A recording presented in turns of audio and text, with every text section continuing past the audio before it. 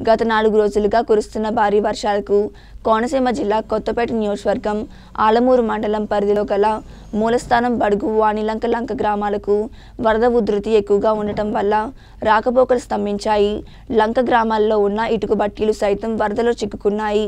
ప్రభుత్వాలు ఎన్ని మారినా మమ్మల్ని పట్టించుకునే నాదుడే లేరని గత కొంతకాలంగా లంక గ్రామాలకు వారధి నిర్మించాలని కోరుతున్నా ఎవరూ పట్టించుకోవడం లేదని గ్రామస్తులు ఆవేదన వ్యక్తం చేస్తున్నారు.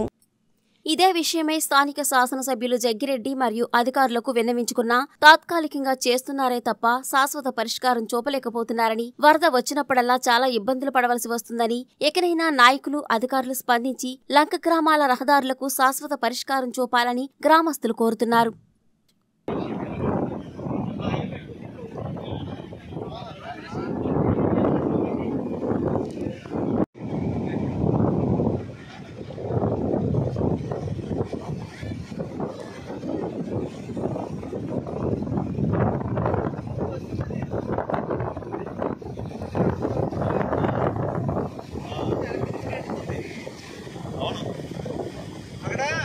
कोई तक रहा है?